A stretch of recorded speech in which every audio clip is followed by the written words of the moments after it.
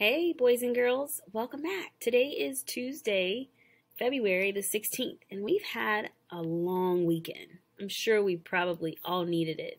We were not here yesterday for President's Day, but we're back and we're ready to start another day of Number Corner, where we will look at our calendar grid, update our calendar collector, and then finally go over those word problems that I told you that you should be working on.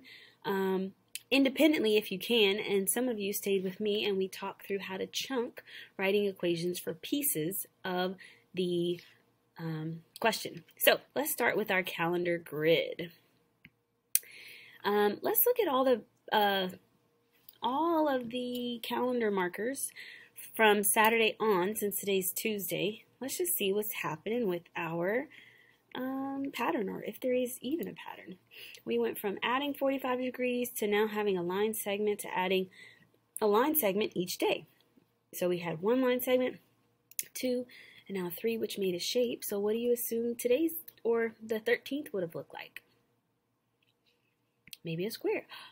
What? By golly me, it's just another line segment. Interesting. Well, what about the 14th? Hmm, two line segments. So the 15th might be another triangle. Let's see. Yeah, it is. But this time it's a different type of triangle because none of the sides are equal.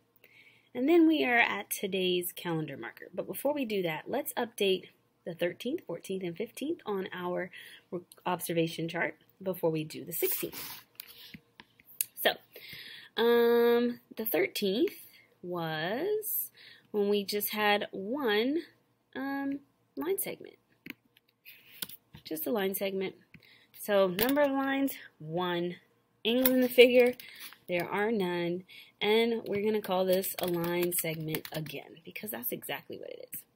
And then we know that we had two here. And we had one angle, and this time what type of angle is it? It is an obtuse angle. Obtuse means it's bigger than 90 degrees. Then we had to name the figure, and we'll just call it an obtuse angle. Next, we have the 15th, which is a triangle, so we still have three line segments. We have, hmm, how many acute angles here? We know that this one is obtuse, so now we have two acute and one obtuse angle. Do y'all know what this type of triangle is called? Called a scalene triangle because none of the sides are equal. So that makes me wonder, what is today's calendar marker going to look like? Let's see. I'm thinking it's just going to be one line segment. And it is one line segment. So I'm going to fill that in. One, we have no angles, and it is just a line segment. So it seems to me that we do have a pattern going, and maybe we're just looking at the different types of triangles. I guess we'll have to continue to look to see for sure. Now let's update our calendar collector. Let's spin for today. We were at 153 degrees. Oh my goodness. Now we are just adding one more degree. So that gives us 154. So I'm just going to make another straight line here. And it's getting kind of hard to do that because one degree angles are like crazy small. Crazy small. Like barely even a rotation. And I can update that on my recording sheet as well, which is here. We collected another degree, which is one one degree angle, and now we are sitting at 154 degrees. All right, really close to one of those straight angles. We'll see if we'll get there if we spin at 30 degrees tomorrow. We'll be past the straight angle, actually. All right, now to go over our workbook page. Do you remember when we talked about this the other day? Multi-step story problems with equations.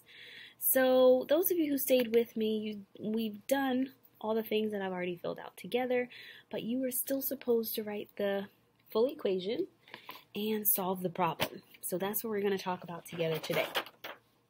Okay, so we got Tyson and his sister. They're collecting items for an animal shelter. They want to donate 150 items, six packs of cat food with 12 cans in each pack, um, eight boxes of toys with seven toys in each pack. How many more items do they need to collect? So we know we got to do 6 times 12 and then 8 times 7 first. Watch what I'm going to do with my equation. I'm going to use um, some double, what I would call a double parenthesis. We got 6 times 7, or excuse me, 6 times 12, plus we need to add that to um, our mm, 8 times 7.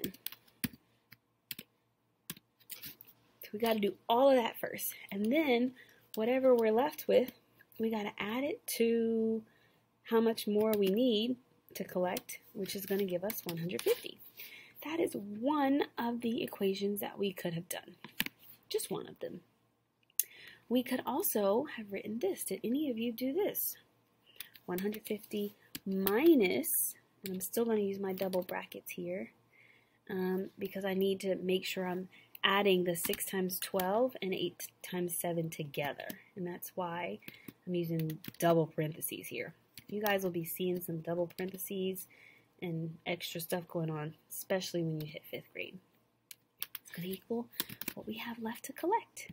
So, what do we have left to collect? What is 150?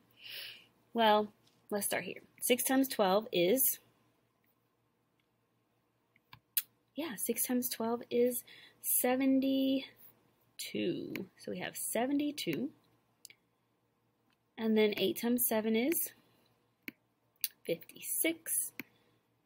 What is 72 plus 56? We know we got to add that first because it is in the brackets, in the parentheses. 6 plus 2 is 8, and then 70 plus 50 is 120. So now I need to do 150 minus 128. So what did you get? Right. You should have gotten, I'm hoping you got 22. And we said about 30 more items. So we were really close in our estimate. Or maybe you had a different estimate. But those of you who worked with me, that's what we came up with together. So that's number one. Let's go over number two and then we will be done for today. All right. So Zoe has some cupcakes. It's a rectangular array of 8 by 12. She wants to serve them to 32 people who are at the party. How many cupcakes can each person have? So if you were to have written an equation for this problem first, which probably is the best thing to do before you solve it so you actually know what you're doing, then it would look maybe something like this. 8 times 12, or, let me back up, 32 divided by 8 times 12. So we know we need to do 8 times 12 first. And I did it backwards again. Miss Trammell, shame on you. 8 times 12, and then divide that into the 32 people. Because remember, we talked about having equal groups. And that's going to tell us how many cupcakes they can have. All right? So, what is 8 times 12? 8 times 12 is 96. Let me rewrite that 9.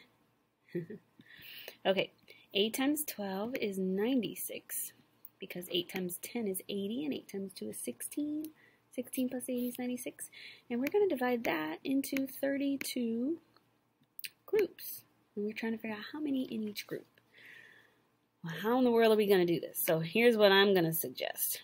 We know we have 96 um, total, and we want it to be shared with 32 people. So that means 96 is in this space right here. Yes? Okay. So let's take out one group of 32. Let's just do some repeated subtraction until we can figure out the answer. 96 minus 32 is, 6 minus 2 is 4. 90 minus 30 is 60. So now we have 64, which is more than half. So I probably draw my line about here, and that's my first 32. That's 1. So now we have 64 left over. Okay, can we take another 32? We sure could. We could continue to subtract 32 until it was all gone, but maybe you guys recognize that 64 minus 32 is 32. So if I were to cut that in half again, here's my another one, another one, or maybe you just did two, then guess what? Our answer is here. So actually, they get three cupcakes each. Three cupcakes each.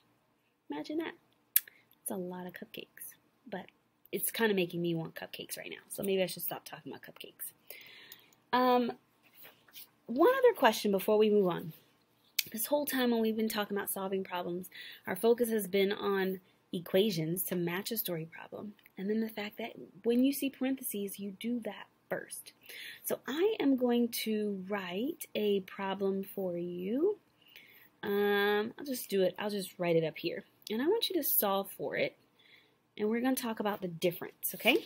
So I have 8, and I'm going to do plus 3 times 2 equals we're just going to call it m for now. I want you to solve that really quickly. And then I want you to solve this one. 8 plus 3 um, times 2 equals m.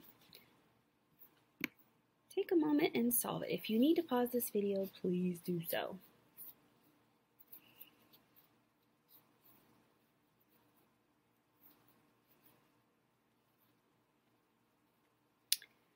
All right, what do we get for the very first equation?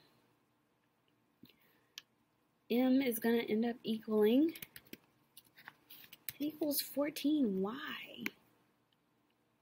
Because you do 3 times 2 first. What's in parentheses happens first. 3 times 2 is 6, and 6 plus 8 is 14. Well, what about what do you get for m when you solve the second problem? Ah, you get 22. Why? Yeah, because you solve what's in the parentheses first, which is 8 plus 3, and that's 11, and then we multiply it by 2.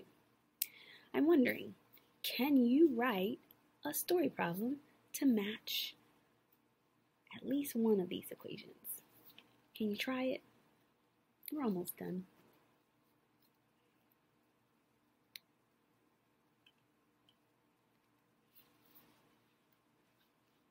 I'll give you an example. I had um hmm eight dollars in my savings account. And I made three dollars for two weeks um delivering newspapers. How much money do I now have It makes sense, right? It matches this one because I would do the multiplication first. Since I had my $8 stored away, and then I'm talking about 3 times 2 because I'm getting $3 for 2 weeks. So that's 3 plus 3, essentially, or 3 times 2. It's going to give me 14. Now you try. If you need some time to think about it, pause the video and write it down. Here's my suggestion for um, the second one. I had eight crayons. I added um, three more crayons to what I had. And then somebody came in and doubled how many crayons I had. Now how many crayons do I have? Or I should say markers since we have M. I had eight markers. I found three more. And then someone came in and doubled it.